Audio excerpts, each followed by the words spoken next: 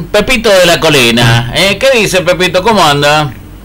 Muy bien, eh, sobre todo me gustaría saber si me escuchas bien, porque en realidad estoy hablando con el, el teléfono del auto y por ahí a lo mejor este, la voz no es buena. Sí, sí, sí, sí. Usted tiene una voz perfecta de la colina. Ah. Tiene una voz perfecta. Radio libre, radio libre. ¿Cómo andas, Pepe? ¿Bien? Muy bien, muy bien y muy contento de que estemos hablando. Bueno, este, lo eh, hablamos con Pepe. Este, estoy acompañado de Alberto Bustelo y de Rolio Olivera acá en nuestro programa en, Hola, Nuestro- en Pepe. el Paraíso. Hola, hola. Hola maestro, ¿cómo andamos? Todo muy bien. Bueno, Y este queríamos charlar y que nos cuentes un poquito, este estuviste en Estados Unidos, en Nueva York, y no solamente en Nueva York, este viendo sanjuaninos y argentinos, sino estuviste para la presentación de la película de la difunta Correa que este produjiste con eh, Antonio de Tomaso también. Sí, los eh, argentinos en Nueva York me, nos invitaron precisamente para pasarla allí en Queens y en Manhattan, así que allí viajamos y bueno, tuvimos la suerte de ser bien recibidos, agasajados y demás. A diferencia de lo que es para nosotros aquí en Argentina, eh, una iglesia que es simplemente el templo y como mucho la casa del cura párroco, allá son estructuras realmente muy grandes que tienen teatros, este, sala de conferencia, de debate, aparte de la sala de culto, digamos, y también cine. Y bueno, este, tuvimos la oportunidad de pasarla en Queens, que es uno de los distritos de New York, eh, en un lugar realmente muy bonito, muy grande, y luego en Manhattan, en, en la iglesia de San Pedro, en donde el padre Fabián Arias, que es eh, argentino, nacido en Luján, este, nos, nos pidió que además de la proyección eh, nos quedáramos al final a charlar con la gente eh, para hacer una especie de debate o para responderles más preguntas. Había colombianos, venezolanos, ecuatorianos, costarricenses, había gente realmente de todos lados y a nosotros nos motivaba mucho el hecho de saber cómo era la mirada de alguien que no fuera argentino, porque el argentino, y mucho más el sanjuanino, ya conoce el, el mito, la leyenda. Y, y bueno, y, y tuvimos una aprobación importante. Ahora, eh, sí? Pepe, este, Alberto Bustelo, ¿cómo te va? Bien, Alberto, ¿cómo estás? Tantos años. Tantos años, bien, mirá, este, y mm, la gente que, que asistió a la película, ¿de dónde conocía la historia de la difunta o cómo se vinculaba al tema? Eh, los, naturalmente los argentinos o algunos paraguayos y demás decían que habían escuchado de la difunta Correa. El resto lo hizo, imagino que por curiosidad, porque vieron el afiche que digamos que estaban pegados en, la entrada de, la iglesia donde se iban a dar los espectáculos. Yo creo que fue curiosidad frente al afiche.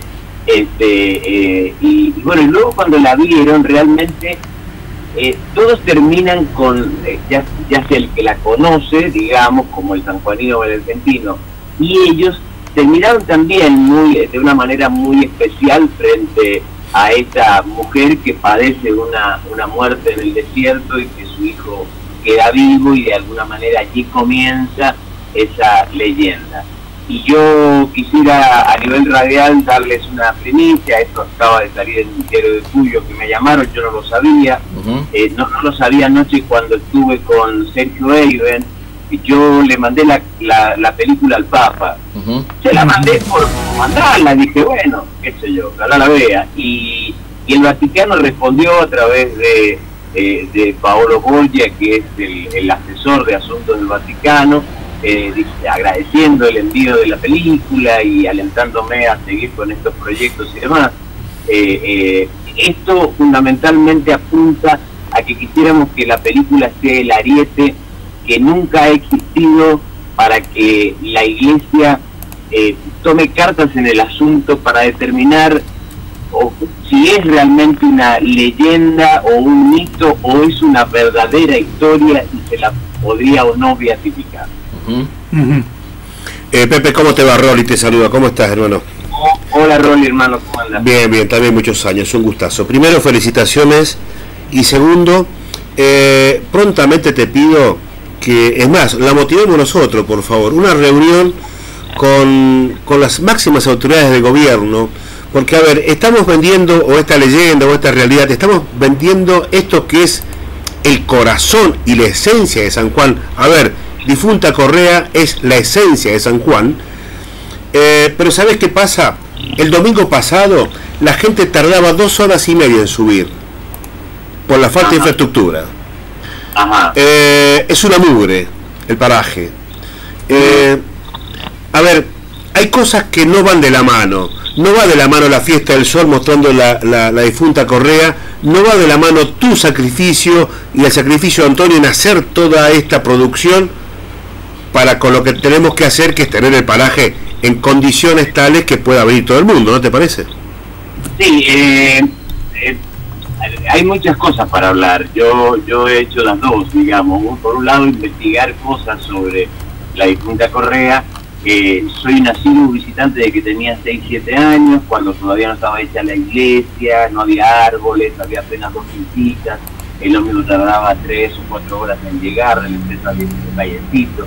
Es decir, que la he ido conociendo con el pasar de los años hubo una época de mayor, hubo dos épocas de crecimiento en la difunta Correa.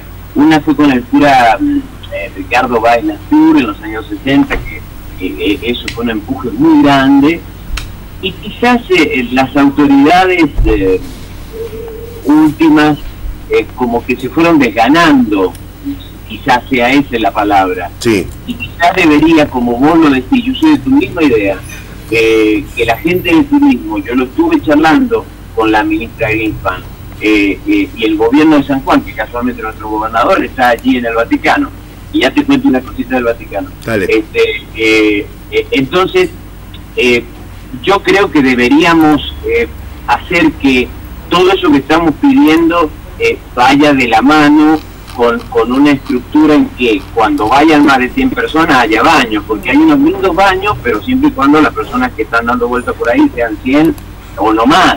Sí, Pero cuando hacemos Semana Santa en la Junta Correa o la cabalgata, es, bueno, se hace pipí en cualquier lugar, te digo, ¿eh? sí, es así. Bueno, esperemos que haya, que haya soluciones. Contanos lo del Vaticano. No, no, te decía que eh, eh, eh, doblemente, porque cuando fuimos, o sea, yo le mando la carta al, al que, que está ahí publicada, la pueden ver en, en Diario de Julio, está el texto de la carta que yo le mando este, a, al Papa y la respuesta de este, de, este señor que, está al frente de los, de los asuntos del Vaticano, este, y que es Pablo Boya, y coincidentemente, estando en Manhattan, el, eh, cuando terminamos de pasar la película, hacer el debate, el padre Fabián Arias dice, mira, a mí me interesa mucho eh, el tema que vos has planteado, eh, planteo esto mismo que estamos hablando ahora, eh, porque mi madre, que está en Argentina, hace una semana que ido a la de Correa porque es muy devota.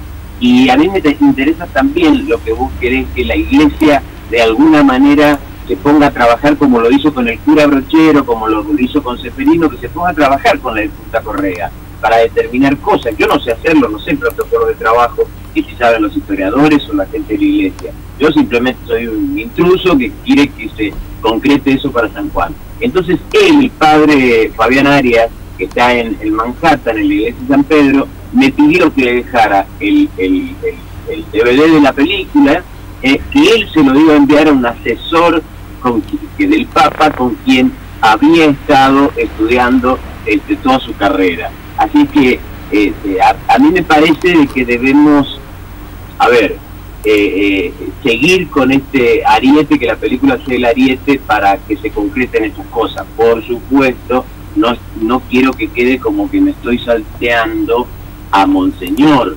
Eh, yo también me gustaría saber la opinión sobre Monseñor, sobre todo porque viene de otras tierras, Sí. digamos, y quizás no conozca tanto como conocemos los sanjuaninos el lugar.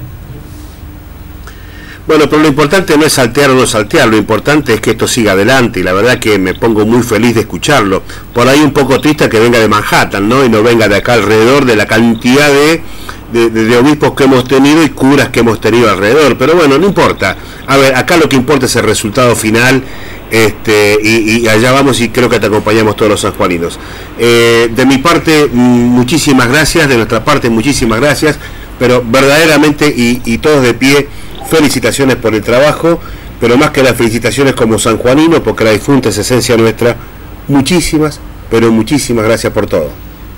Bueno, muy bien, y solamente contarte que la estamos pasando, eh, menos en la capital, en los 18 departamentos santuarinos que quedan, ya la pasamos en Santa Lucía, este viernes la pasamos en Albardón, y así vamos a ir pasándola gracias a los intendentes que nos han apoyado muchísimo de sus 18 departamentos, este, la estamos pasando en todos los departamentos, menos en capital.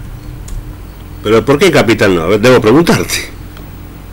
Bueno, ¿No te apoya el intendente? Eh, no, fue el, secretario de Cultura o director de Cultura, fue a decirle al intendente, mira, intendente, está la posibilidad de que pasemos la disputa Correa, que en el cine de la Plaza 25.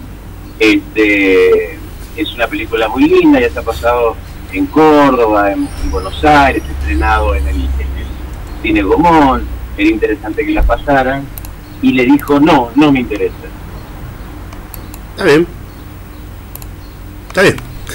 No tengo que contar. Está bien. Eh, eh, pero, es un hecho objetivo, así que listo.